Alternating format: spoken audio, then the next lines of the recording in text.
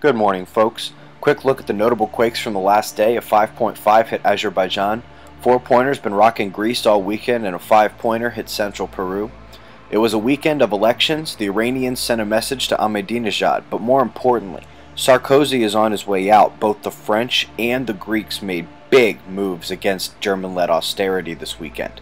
The people will not yield. The new plan to fix the debt apparently involves a lucky rabbit's foot and prayer. I doubt the United States will be anything different. Our civilization truly may collapse before the sun has a chance to go apeshit. A bit of good news to follow that up. That whale that has been caught in our buoys is finally free and on his way. SpaceX will make their cargo run to the ISS on May 19th if all goes as planned. This article is for the nerds like me discussing climactic response to solar minima.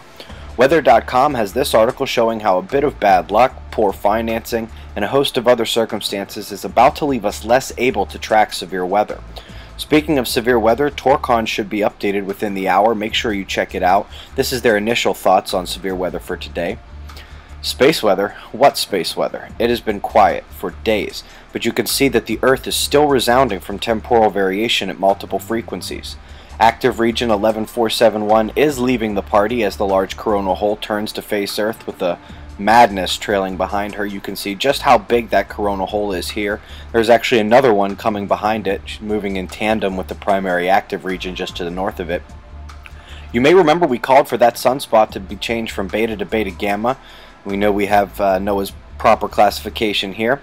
You can see it's big. The polar regions are distributed throughout the sunspots. Can't really group them together. There may even be multiple delta spots forming in the middle. You can bet that this flurry of M flares from this weekend is probably not the last you've seen of her. Wrapping up, you know the drill. Turning off the atmosphere, we can see Jupiter creeping behind the Sun for a solar conjunction coming up May 13th.